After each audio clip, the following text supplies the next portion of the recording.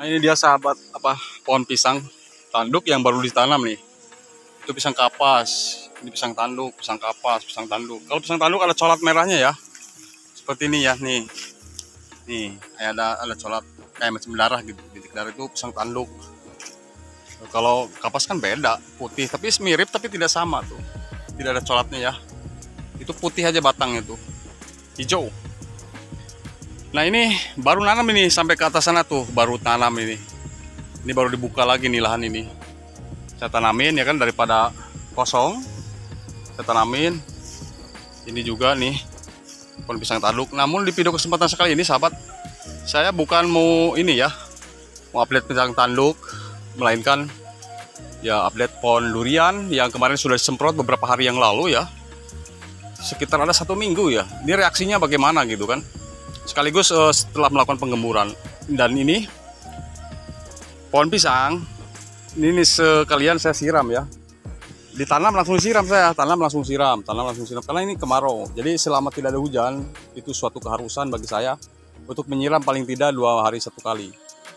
Saya menyiram oke? Okay? dan baik saya akan lanjut mengupdate uh, tanaman durian musangking dan bawor yang kemarin saya semprot dan melakukan penggemburan dan bagaimana reaksinya. Saya juga belum ngecek Baik, saksikan terus videonya sampai selesai. Terima kasih.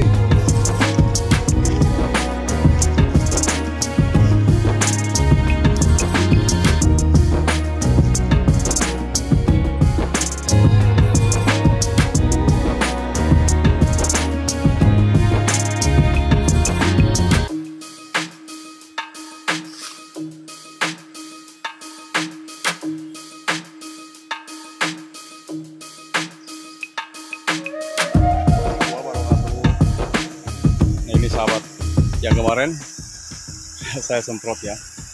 Keluar kan? Ini keluar tuh maksudnya keluar ini.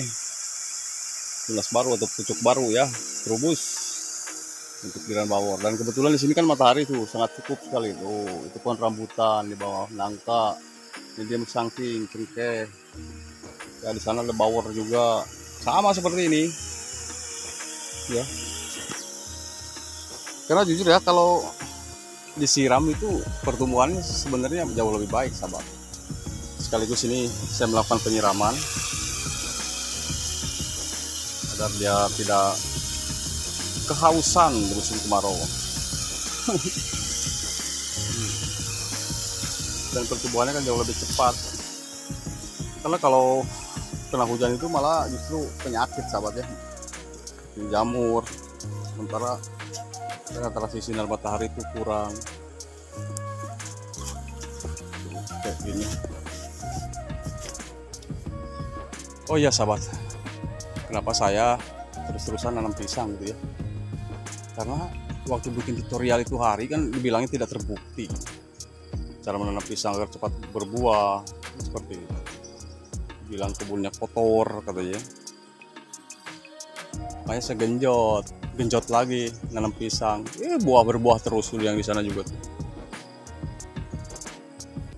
Agar biar yang apa namanya yang bully itu ngeliat sendiri nanti.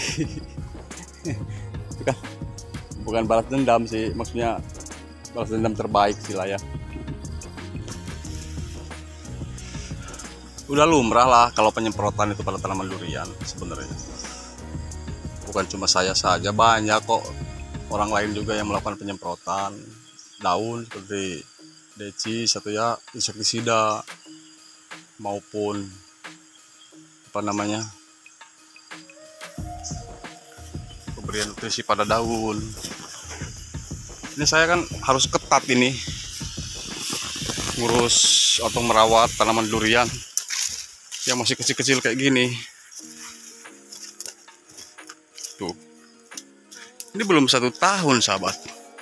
Itu bibitannya kecil saja itu hari saya tanam. Terus terubus. Yang penting matahari cukup, sim kemarau kita siram. Ini jujur saya dari pagi belum pulang. Dari mulai subuh, sholat subuh, sarapan, langsung berangkat. Gitu kan, kalau banyak yang harus saya kerjakan. Jadi menanam terus menanam terus di musim kemarau ini nanti kan setelah hujan, musim hujan tiba, tinggal menjaga apa ya drainase membersihkan rumput. Gitu. Terutama yang masih kecil-kecil kayak gini. Masih tahap pertumbuhan lah ya harus kita jaga gitu. Oh, yang di tebing-tebing sana juga banyak itu musangking ke atas atas sana juga. Cuma saya malas aja jalannya. Karena waktu juga kan sudah mulai gelap kalau tua daun tua ini menguning seperti ini normal saja sebenarnya dalam pertumbuhan suatu tanaman. Penting kan dia terus naik ya.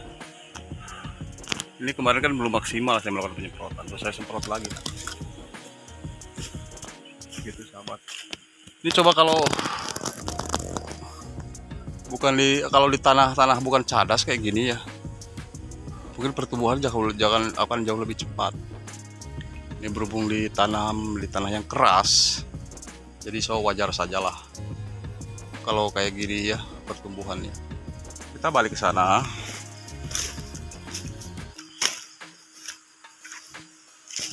Di sini sini aja. Soalnya pinggang udah sakit juga nih.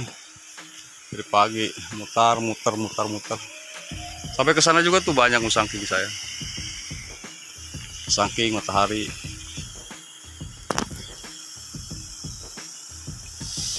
enak sahabat apalagi kalau pas bulan puasa tuh sambil ngabuburit merawat tanaman.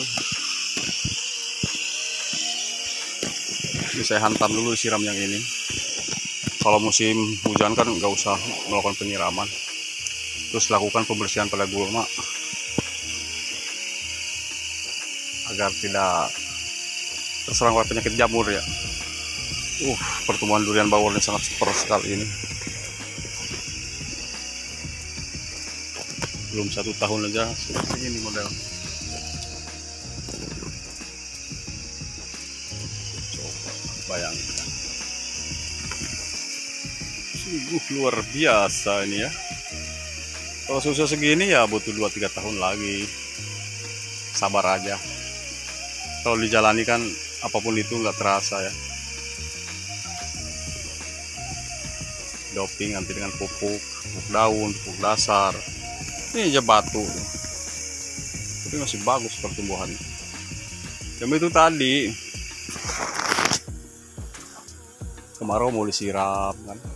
Itu aja kuncinya.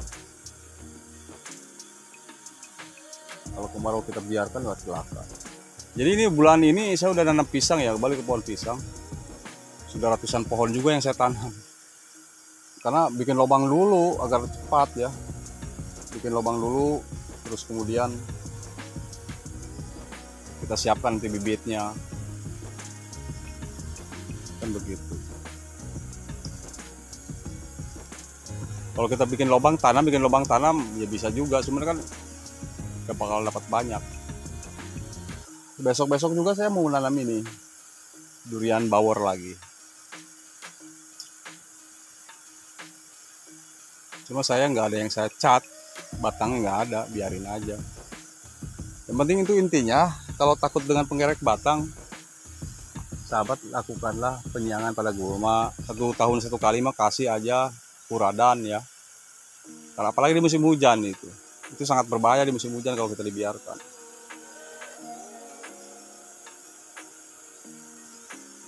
Kalau musim kemarau gak seberapa sahabat. Gak seberapa berbahaya dibanding musim hujan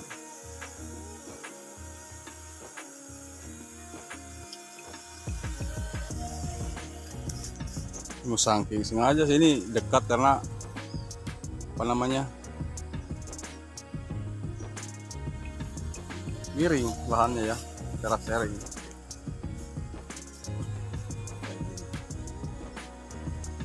Kan sambil jongkok kayak gini ngerokok ya kan? Minum kopi.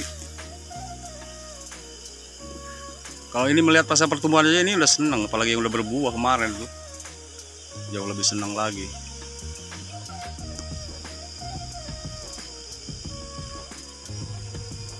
sampai ini kita jaga aja pertumbuhannya hama-hamanya juga ya. Untuk interval penyemprotan tergantung keadaan lihat nanti 8 sampai 10 hari sekali. Atau minimal dua minggu lah. Terus mau melakukan penyemprotan. Ini banyak sahabat yang di blok-blok sini aja banyak sebenarnya yang saya tanam cuma ogah aja jalannya naik turunnya ini terus lubang tanam yang sudah saya simpan deposit nutrisi pun belum saya tanam. Biarin aja dulu. Kecuali lahan datar itu. Lah memang saya tanam. Musim kemarin juga saya tanam. Yang penting kan mau disiram saja. Intinya itu.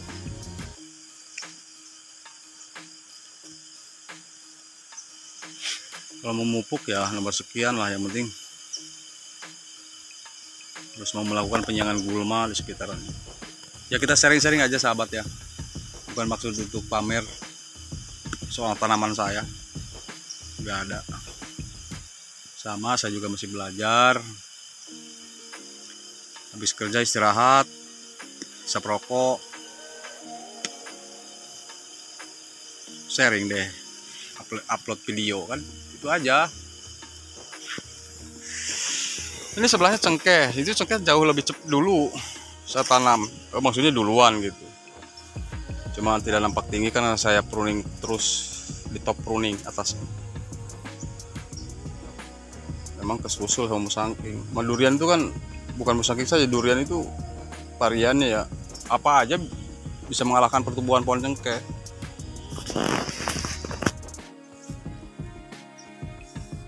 Bawor uh,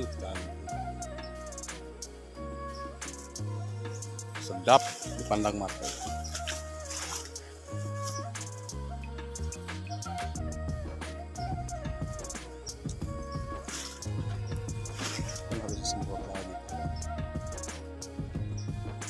Sana ada ada matahari ada duri hitam. Bawahnya juga sangking bawor. Oke baik sahabat hanya itu saja ya. Terima kasih banyak bagi yang sudah mendengarkan ocehan dari saya mohon maaf atas segala kekurangannya dan harap maklumnya ya. Karena saya sekaligus aktivitas setelah aktivitas ya bikin video gitu sharing seputaran ya bahwa tanaman saya itu yang seperti kemarin kayak gini hasilnya kayak gini ya kan. Banyak daun muda itu kan terus baru sebenarnya. Karena memang saya jaga dari pagi saja belum pulang ini baik terima kasih. Jadi itu saja sedikit di, apa sharing dari saya. Mudah-mudahan bermanfaat. Mohon maaf atas segala kekurangannya dan kesalahannya. Mudah-mudahan ini tidak mengganggu para sahabat semua. Yang penting kita sharing di sini seputaran tentang tanaman durian cengkeh alpukat pisang. Oke terima kasih. Ketemu lagi video saya berikutnya dan akhir kata assalamualaikum warahmatullahi wabarakatuh